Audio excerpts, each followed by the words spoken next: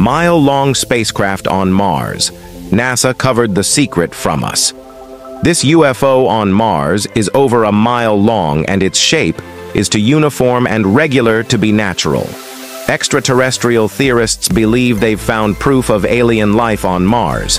YouTube channel Paranormal Crucible claims NASA images show a two kilometers long, downed alien mothership on the surface of Mars. The images from the video were found in footage taken from NASA's Mars Global Surveyor, which surveyed the red planet until 2006, when the space agency lost contact with it. I have processed, colorized, and rebuilt the object, and in my opinion, it is a craft of some kind, possibly tens of thousands of years old, explains the description underneath the video. But some people who watched it appear not to be convinced and have their own theories about what the object is. One said, It's sunken ground, not raised. Look at the location of the light and the shadows compared to the surrounding craters. Another dismissed claims of alien life, believing it's a deep ditch, but questioned how the hell it got there. It's in the middle of a very flat desert.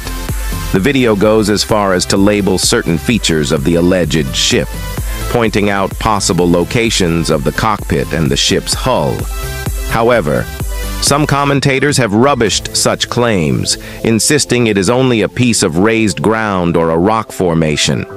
Last year, astonishing photos taken by NASA appear to show a pair of wheels on the side of a hill, which so-called truth seekers believe is evidence aliens used advanced forms of transportation up there alien life forms would have a tough time surviving, as the planet has no liquid water on it and often reaches temperatures as low as 125 C.